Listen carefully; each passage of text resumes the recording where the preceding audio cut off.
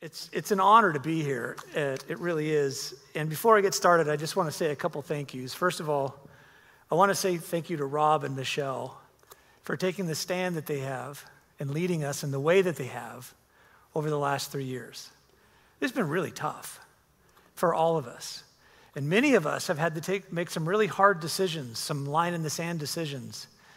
And I take courage from Rob and the stand that he takes as he pushes back. He doesn't say no, he's in the fight all the time. He's leading the, uh, from the front. And I just appreciate that. And so thank you, Rob. And I know your wife, Michelle, how much strength that she gives you as well. And uh, we just, if anybody else were up here in my shoes, they would tell you the same thing. Thank you very much for your leadership.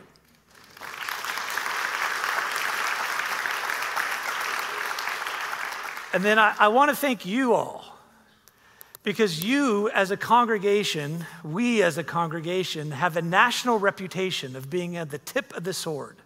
And I'll give you a good example of this. My brother, Travis, faced a red line moment when his kids went from uh, elementary to middle school with the whole vaccination thing and had to leave for Texas. So they left for Texas a week ago. He's talking with his neighbor and he's saying, Hey, my brother Ty, he's going to be at Godspeak with the uh, Pastor Rob McCoy. Have you heard of me? He goes, the guy goes, Rob McCoy, that guy's a Texan. Matter of fact, he's such a patriot, he needs to move the whole church out here to Texas because they think like we do.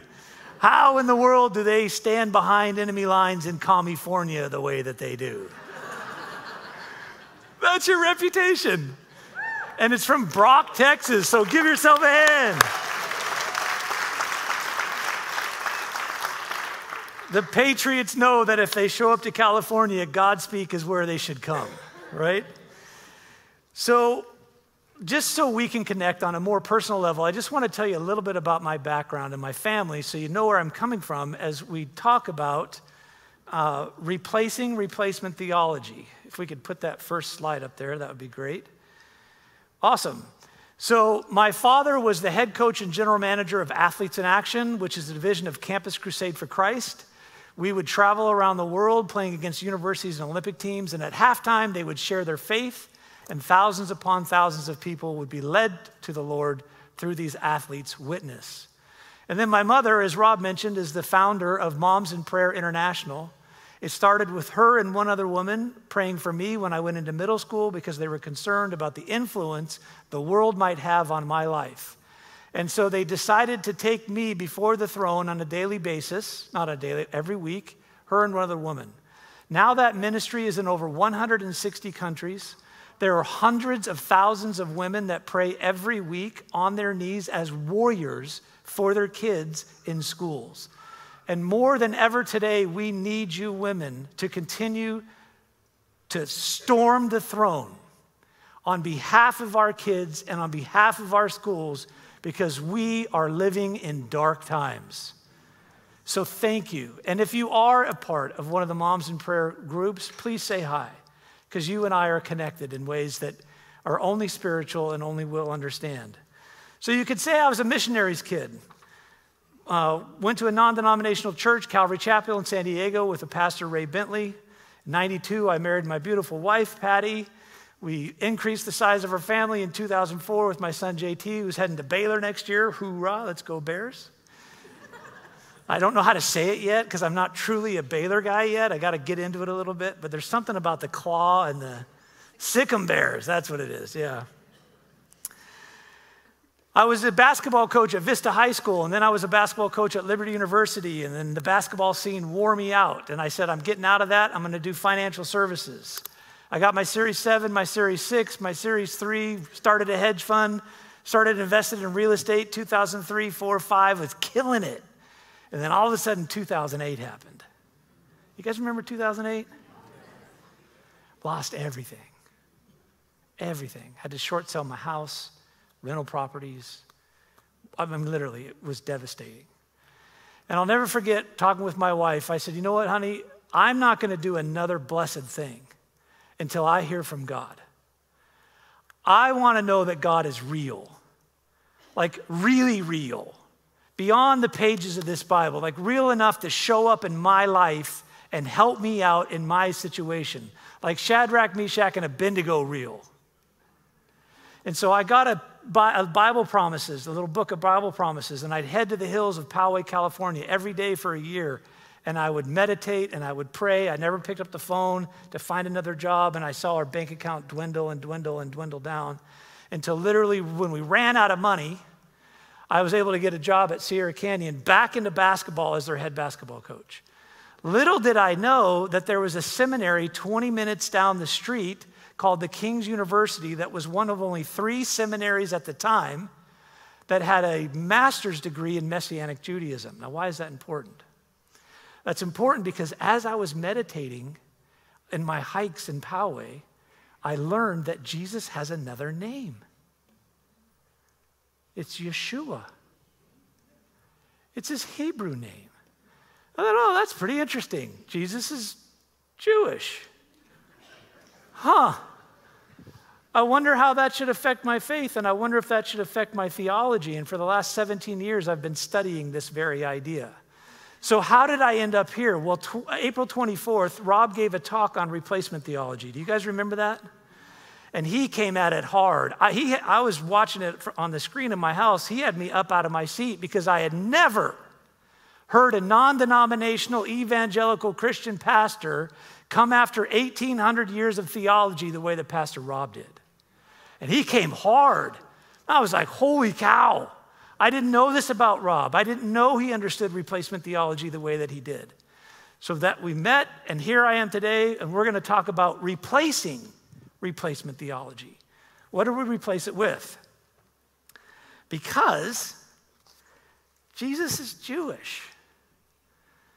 Now, in my studies, uh, I think this thing is dead, guys, so you're going to have to go to the next slide for me. Thanks.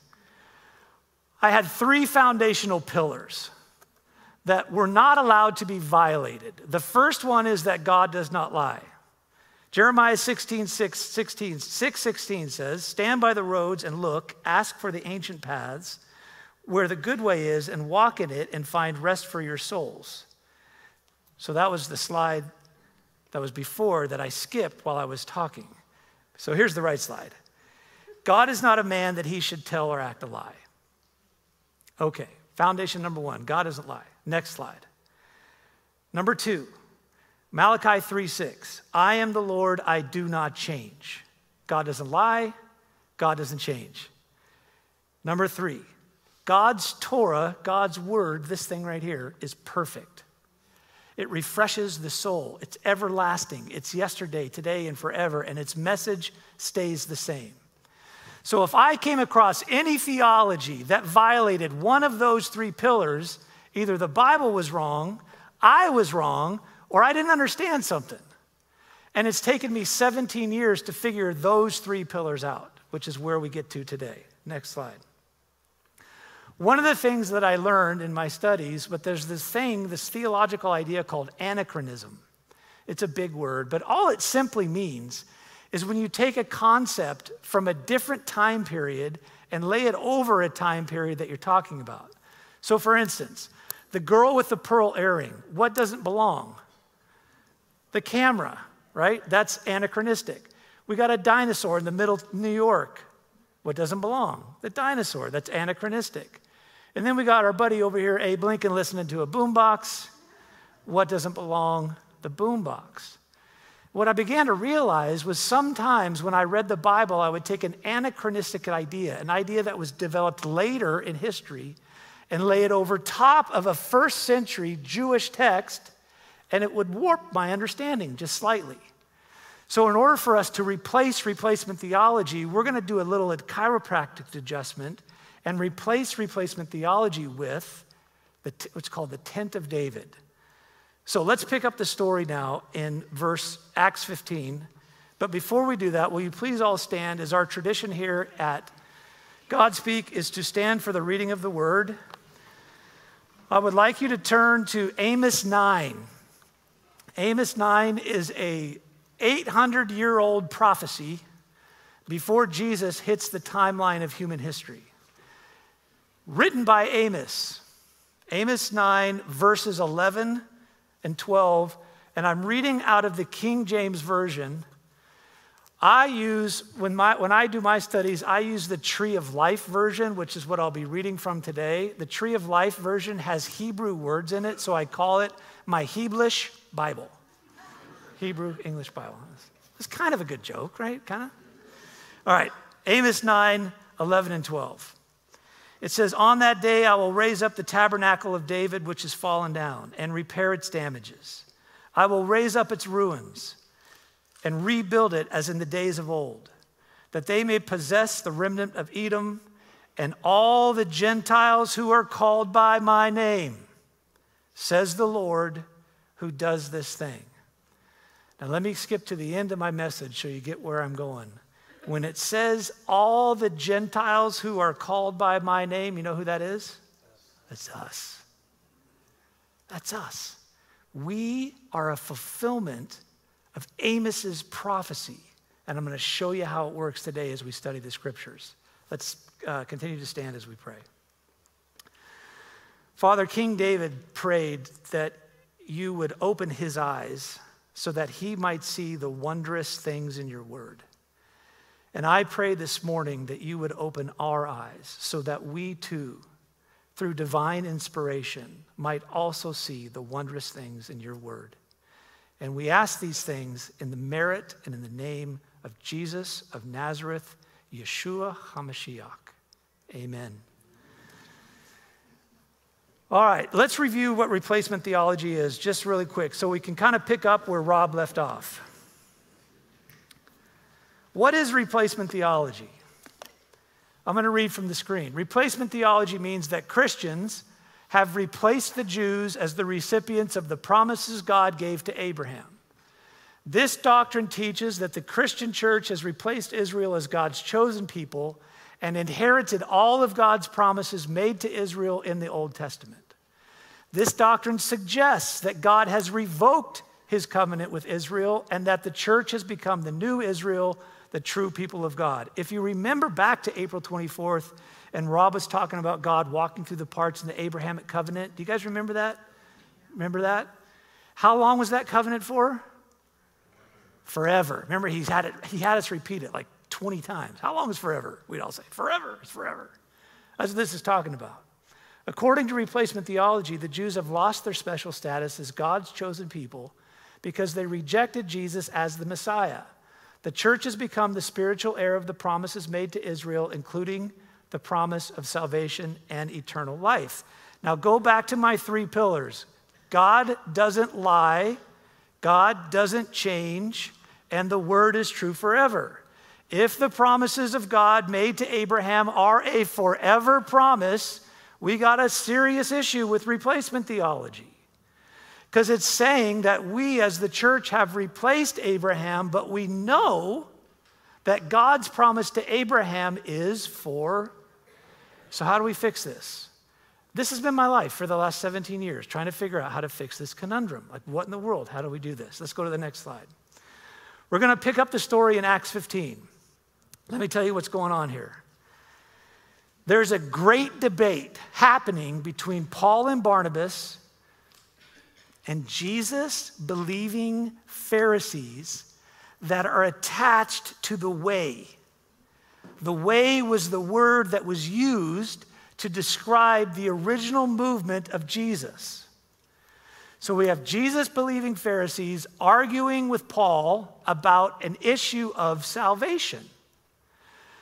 The Pharisees said, when the Gentile comes to Christ, they need to be circumcised because that's what the Torah teaches. The Torah has been teaching that for 1,500 years. Matter of fact, it's the law of Moses. Paul was teaching the Gentiles, no, Ephesians 2 8 9, for it is by grace you have been saved through faith. You guys remember that verse? Not of yourselves, etc.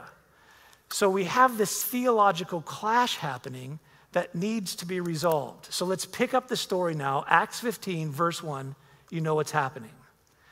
So, some men coming down from Judea were teaching the brothers. Who were those some men? Jesus believing Pharisees from Jerusalem. And I'll prove that to you later in Acts 15. Unless you are circumcised, according to the custom of Moses, you cannot be saved. When Paul Moses, when Paul and Barnabas had a big argument and debate with them, the brothers in Antioch appointed Paul and Barnabas with some from them to go to Jerusalem to see the apostles and elders about this problem.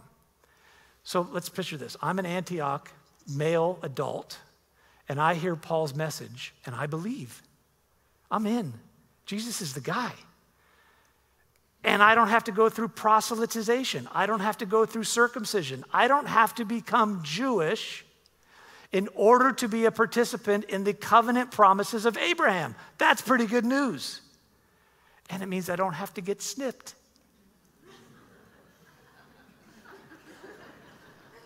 I'll, I'll take that. The Pharisees, on the other hand, are saying, No, Paul, you got the guy right. Jesus is the Messiah. But you got the part wrong about salvation because you're abolishing Torah. You're abolishing Torah. Next slide, please. Here's where the Pharisees got this 1,500 years of idea. First of all, from the book of Ruth. The book of Ruth teaches total, total fidelity to Hashem. Hashem is the name. The Jews use the name because they don't want to take God's name in vain. So if I say Hashem, it's just out of respect for my Jewish brothers and sisters who are in the room. Ruth teaches total fidelity. You're all in. Then we see in Exodus 12, 48 and 49, if you want to become a part of us, then you need to be circumcised. It's a part of the Abrahamic covenant. And circumcision allows you to participate in all of the festivals Passover, Shavuot, all the temple services. If you don't get circumcised, you're not fully Jewish. We'll love you, but you're just not us. You're not a part of us. Then Deuteronomy 10 19 has this open arms policy. Anybody wants to join us can. If you want to become Jewish, you're more than welcome. Come on in. Genesis 17 12, circumcision is the final step signifying total faith and fidelity to God and the people of Israel. So let's put ourselves in the Pharisees' seat just for a second. They're Torah observant Jews. They believe Jesus is the Messiah. The last thing they want to do is abolish Torah. Paul comes along and preaches a very controversial message. He says the Gentile can now be saved by grace through faith, and we got a problem. Do you guys see the problem now of kind of what's going on at this time? Let's go to the next phrase. The Pharisees will argue even the master, Yeshua, Jesus, did not abolish the law. Look what it says in Matthew 15, 17, Matthew 5, 17, excuse me. Jesus says, I did not come to abolish, but tell the law, but to fulfill it. Kiem. These words in their original context are used to describe improper and proper interpretations of the Torah. Now, I know that there's a lot of different ecclesiastical ways in which universal Christendom interprets that verse. Most of it's anachronistic. If we get rid of the anachronism and just go back into the first century, what Jesus was saying is, I, I did not come to abolish the Torah. I came to fulfill it. I came to rightly live and interpret it. So the Pharisees are arguing with Jesus that Paul is abolishing the Torah. They got a pretty strong case. It gets good, trust me. Let me get to the end of this. But I just want you to understand the, the magnitude of what's happening here. Let's go to the next slide. Here's just one example of hundreds that I could give you from first century writings that use the same term, term Betel and Kiem, in the sages' writings. Pirkei Avot says, Whoever fulfills Kiem, the Torah, in poverty, will fulfill Kiem it later in wealth. And whoever abolishes Betel, the Torah, in wealth, will abolish Betel it later in poverty. That's what it means. It means to uphold and live rightly or abolish and live wrongly. Next slide. So the question in Acts 15 is Is Paul and Barnabas abolishing the Torah by teaching against 1,500 years of Mosaic law? Are we on the same page? Because Paul's, Paul's a sharp dude. And he's got a good answer, and we're going to get to it in a second. But if we don't understand the context of what happened, is we'll miss the power of the message of salvation. Next slide. So let's pick this story up in verse 3, or excuse me, verse 5. So there's a cohort that's sent from Antioch down to Jerusalem because that's where the early movement was, and they met to debate this issue. And some, in verse 5, belonging to the party of the Pharisees who believed, stood up saying, It is necessary to circumcise them and to command them to keep the law of Moses. This is a big debate. And a friend of mine, who I consider a mentor of mine, writes this about, his name is Daniel Lancaster. And he writes this He says, Both sides presented their case before the disciples, elders, and leaders of the community. They cited the Torah, they cited the prophets, they cited the writings. The place of assembly thundered with calls. Have you not read? Is it not written? Have you never seen where it says, Come and see? They more than likely backed and attacked each opinion with scripture and full conviction. Each side remained convinced of the unassailable veracity of its own arguments. So you can see it, all these long bearded rabbis sitting around, pulling out these Torah scrolls, going into the scriptures to see is Paul right? Or is Moses right? Or maybe they're both right. What do we do about this? This is a problem because there's no doubt these Gentiles are getting the gift of the Spirit upon faith. And we got to figure out what to do with this. Next slide. So Peter stands up. And let's read what Peter says. He says, Brothers, I'm in verse 7. You know that in the early days God chose from among you that by my mouth the Gentiles should hear the message of the good news and believe. By the way, that's not Acts 2. Pentecost, Shavuot, Acts 2, is to Israel. Go back and read it. It says sons of Israel, men of Israel. He's not talking about Acts 2. He's talking about Acts 10 when he meets with Cornelius. We'll study that in a second, but let's keep reading him. He says, Brothers, you know that in the early days God chose from among you that by my mouth the Gentiles should hear the message of good news and believe. And God, who knows the heart, testified to them by giving them the Ruach HaKodesh, the Holy Spirit, just as He did for us. He made no distinction between us and them, purifying their hearts by faith. Why then do you put God to the test by putting a yoke on the neck of these disciples, which neither our fathers nor we have been able to bear? I wish I could unpack that verse. I don't have enough time, but there's a ton of meat in those three sentences. But let's keep going. But instead, we believe that we are saved through the grace of the Lord Yeshua in the same way as they are. Now, to really understand what people, Peter is reminding them, let's turn back. Let's go to Acts 10. Go back to Acts 10, and let's pick this story up because this is really cool. I'm in starting in verse 9. So remember, Peter is reminding the assembly Guys, you remember this episode? We're about to read the episode. The next day, verse 9, as the soldiers were traveling and approaching the city, Peter went up to the rooftop to pray about the sixth hour. Now he became very hungry and wanted to eat, but while they were preparing something, he fell into a trance. He saw the heavens open and something like a great sheet coming down, lowered by its four corners to the earth. In it were all sorts of four footed animals and reptiles and bir- uh, birds of the air. That's non kosher food. Peter was getting a vision of God telling him in the next verse, Get up, Peter, kill, and eat. And look what Peter says No way, Jose. I ain't doing it. I've been a Torah observant Jew my entire life. I'm not about to start eating non kosher food because it would make me unclean and I would not be able to participate in all of the festivals outlined in Leviticus 23. So you better send me another message because Peter's hard headed. And God says, a second time, what God has made clean, you must not consider unholy. This happened three times. And then the sheet was immediately taken up to heaven. Now, Peter was puzzling about what the vision had might mean. He didn't get it. Why would God be abolishing his own Torah.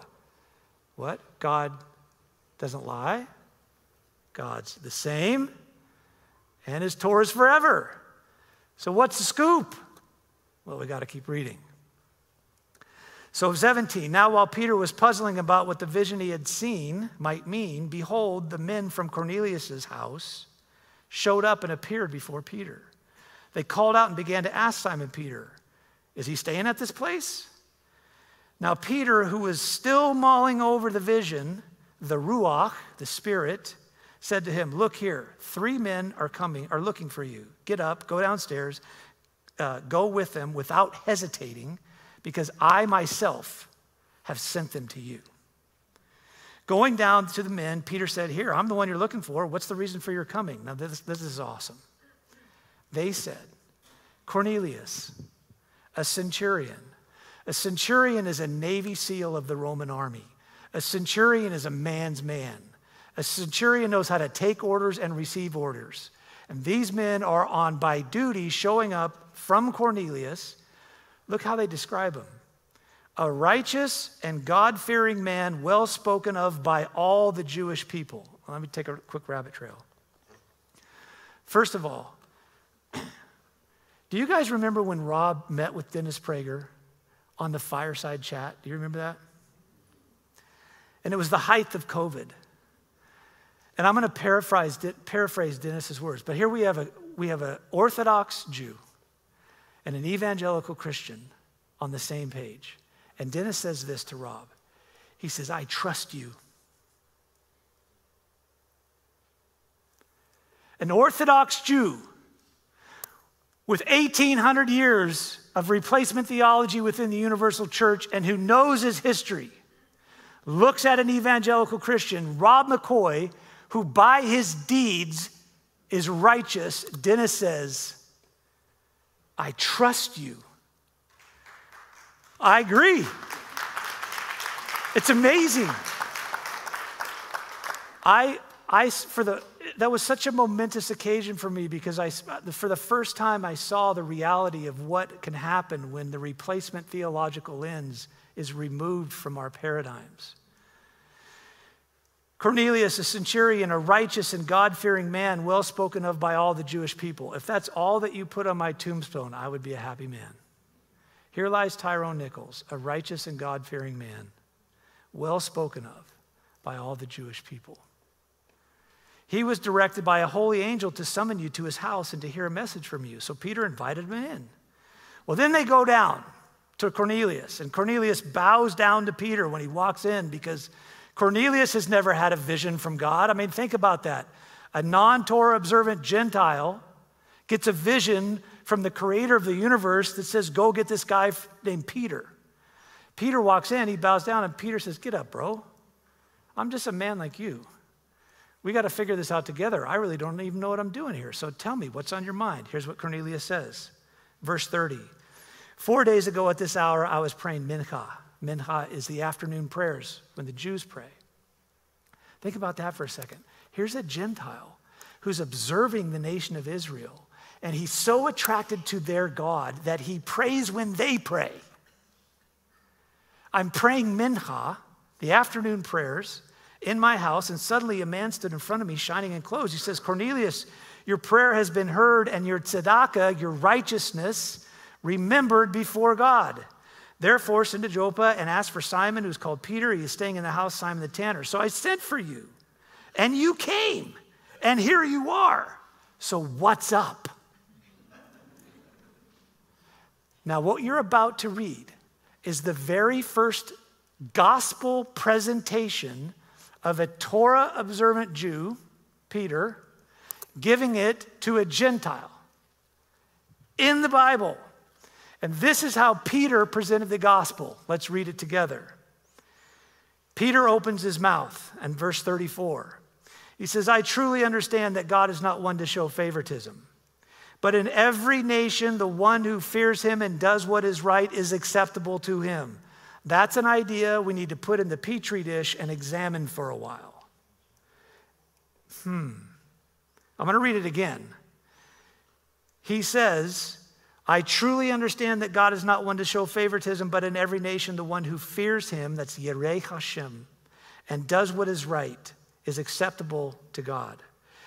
You know, pointing at, pointing at Cornelius, that the message to Bnei Israel, the sons of Israel, proclaiming shalom, peace, through Messiah Yeshua, through Jesus Christ, he is Lord of all.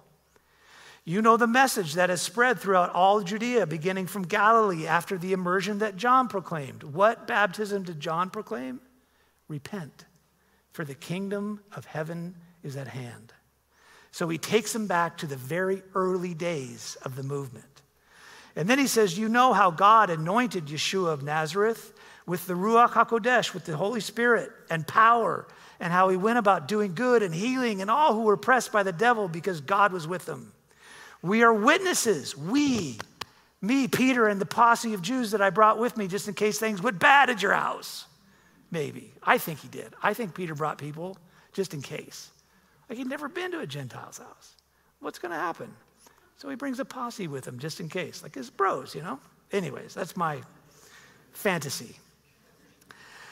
So Peter says, We are all witnesses to all he did, both in Judea countryside and in Jerusalem. They put him to death by hanging him on a tree, but God raised him up on the third day, caused him to be visible, not to all the people, but to us, witnesses who were chosen before him by God. We ate and drank with him after he rose from the dead. There was no TikTok and there was no Instagram, there was no news. Peter went face to face with Cornelius and said, I knew the man. I lived with him. I saw him die on a tree. I saw him buried in the grave. And three days later, he rose. And I ate with him. And I drank with him. The Pharisaic philosophy of the resurrection of the dead, excuse me, theology, is true. There was a big debate in the first century between the Sadducees and the Pharisees. The Sadducees said there is no afterlife. The Pharisee says, no, there is. And Peter says, it's true. And Jesus proves it.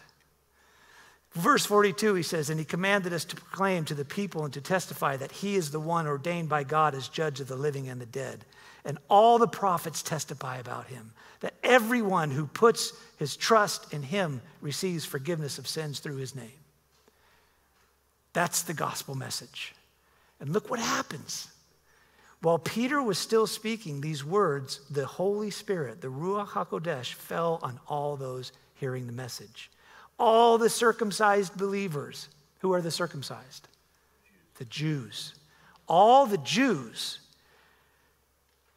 who were circumcised were shocked for hearing them speaking in tongues and magnifying God. The same gift that had been poured out on the Jews at Pentecost is now the same gift that Paul's witnessing as he's traveling in the diaspora, and it's the same gift that Peter witnesses in the house of Cornelius. They're dumbfounded. Look at what it says next. He pulls his posse together and he says, Can anyone refuse water for these to be immersed who have received the Ruach HaKodesh just as we did? In other words, guys, I've never seen this before. What do we do now? I guess we should baptize them. Does anybody have an objection to that? Everyone says, no, I, we're fine with it.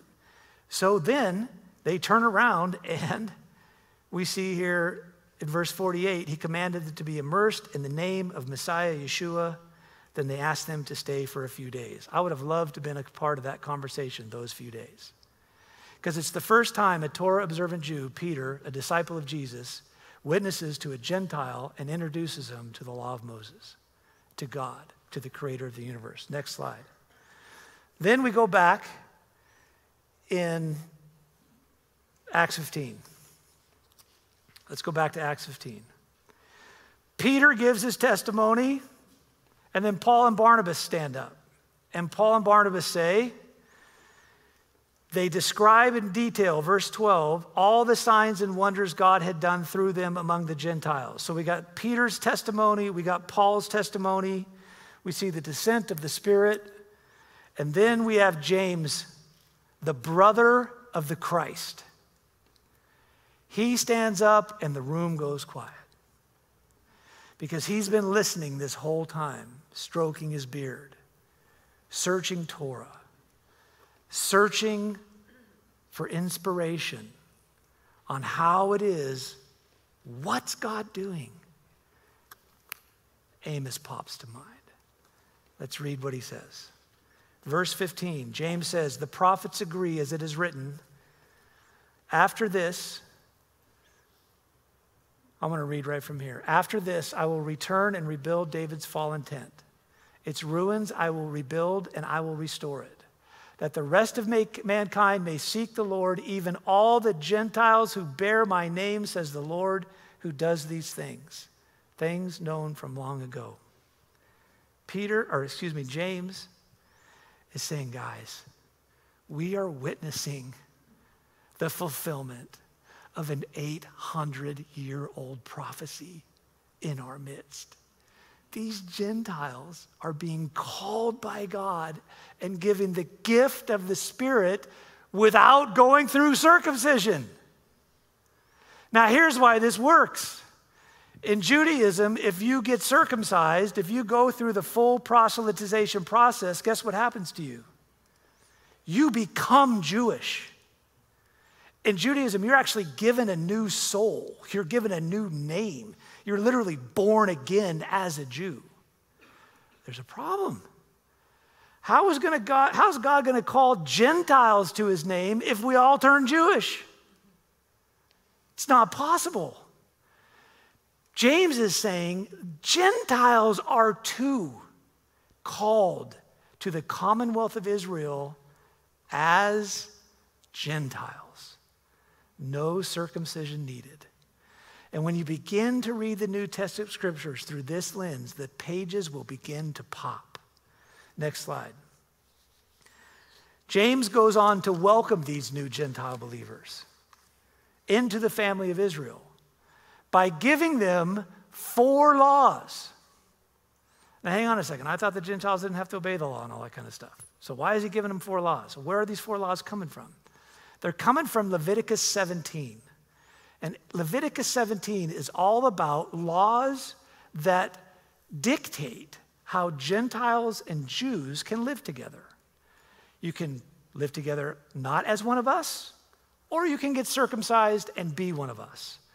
So here's the four laws they are abstain from anything sacrificed to idols, abstain from blood, abstain from things strangled, and abstain from fornication. Was James saying, guys, these are the only four things you got to do. Don't worry about the Ten Commandments. No, because what would that be? That'd be abolishing the Torah. So all James is saying is look, fellas, if any one of you do these things, I become ritually impure. I do. Because I've associated with you, and when I become ritually impure, I can't participate in the festivals. I can't go to the tabernacle. I've got to go through all this stuff. I got to do all these things, all these rituals in order to become ritually pure again. So we can have table fellowship Let's just have you abide by these four. And then he says something profound. Look at what he says here. He says, next slide, verse 29.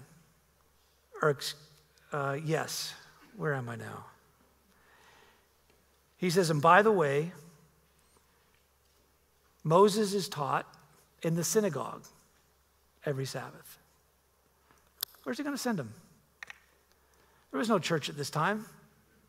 Church didn't officially develop until 325 CE or AD, however you want to say it, the Council of Nicaea. There's this period between Jesus hitting the earth and the institutionalization of the religion of Jesus of 325 years. At this time, non anachronistically, the only place to go to learn about the Word of God was in the synagogue. So that's where he sent them, because that's where truth was taught. Next slide. So then he writes a letter because we got these brothers up in Antioch, right? These brothers in Antioch are still going like, "Will you guys figure your stuff out? Because we need to know the message." So he says, "Since we have heard that some from among us have troubled you with words disturbing to your souls, that's the proof text that these men who went to Antioch were among the believers in Jerusalem. That's kind of cool, right? Because maybe it's the first time we've ever heard that Pharisees believed in Jesus, which is really cool. Although we gave them no such authorization, it seemed good to us, having come to one accord, to select men to send with you our beloved Barnabas and Paul, men who have risked their lives for the name of the Lord Yeshua the Messiah. We therefore have sent you Judah and Silas, who themselves report to you the same things by word of mouth. It seemed good to the Spirit of God, to the Ruach HaKodesh, and to us to place on you any greater burden than these essentials that you abstain from things offered to idols, from blood, from things strangled, and from sexual immorality. By keeping away from these things, you will do well. And that was the message. They go back to Antioch, and all the adult males in Antioch read the letter and went, Yes, no snippage. Next slide. There's another, is there any other prophets that agree with Amos in this accounting of the biblical text? I'm going to read you just one, but there's plenty. This is from Isaiah. It says, And foreigners who bind themselves to the Lord to minister to him, to love the name of the Lord, and to be his servants, all who keep the Sabbath without desecrating it, and who hold fast to my covenant. These I will bring to my holy mountain and give them joy in my house of prayer. The burnt offerings and sacrifices will be accepted on my altar, for my house will be called a house of prayer for all nations. I wish I had time to unpack that, but I don't. But the bottom line is who are the foreigners? Us.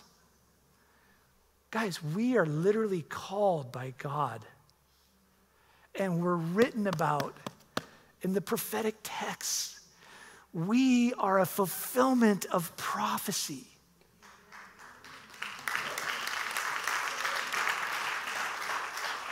Next slide.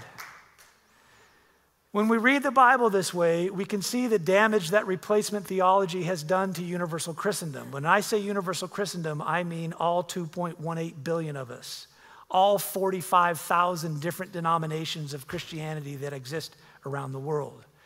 When we read the text this way, this is what we see. We see one consistent theme Amos and Isaiah predict that Gentiles would be drawn to the God of Abraham, Isaac, and Jacob to worship him under the tent of David. The apostles and Paul understand and teach that Jesus of Nazareth, Yeshua HaMashiach, has initiated this ingathering of Gentiles into the commonwealth of Israel. Rather than replacing Israel, Gentile believers are a fulfillment of prophecy joining God's covenant people, Israel, through faith in the Jewish Messiah, Savior of the world, worshiping God together under the tent of David. Next slide. This is the narrative from Genesis to Revelation. It teaches us that it's not about Israel becoming a part of the church. It's about the church becoming a part of Israel. And we all need to be thankful that we sit underneath a pastor that understands this, who honors Israel, who's been there 18 times, because he knows what replacement theology has done to the narrative within universal Christianity. We are a blessed people. Paul calls it a mystery. Paul says the mystery is that the Gentiles are joint heirs and fellow members of the same body. Why is it a mystery? Because 1500 years of Torah law has taught us that we must be circumcised to be members of Israel. But the mystery is buried in Amos in the tent of David that says Gentiles by faith, by God's grace, are now saved. And co sharers of the promises in Messiah Yeshua through the good news. That is genuinely good news. Next slide. So, how do we pl- replace replacement theology? This is what I'd like us to consider. And this can't, it's not going to just happen in a day because this has tentacles that weave itself all throughout the foundations of universal Christendom. But when we take a look at these three pillars, God doesn't lie. God doesn't change. This is eternal. we return to a first century apostolic paradigm that places Israel at the center of the biblical narrative, and we join our Jewish brothers and sisters in all humility, worshiping God under the tent of David. Because after all, Jesus is Jewish. Let's pray. Father, thank you for this morning. I thank you for your word. I thank you that it is true and it's reliable and dependable. I thank you for your son that you sent to die on a cross so that we too, us Gentiles, foreigners who were separate from the covenant promises of God, have now been brought near, grafted in, as Paul would say in his olive tree theology, co sharers of the promises given to Abraham and the prophets. I ask that the seeds of the truth of this message would embed themselves in our souls and that we would wrestle with this. And more so than anything else, Father, I just ask for the nation of Israel that she would wake up to her divine calling as the firstborn in the family of God. And that we, the foreigners, the Gentiles that have been called to you by your name, would support her and love her and help her fulfill her great calling. And I thank you for all these things in the name of the Master, Yeshua HaMashiach, Savior of the world. Amen.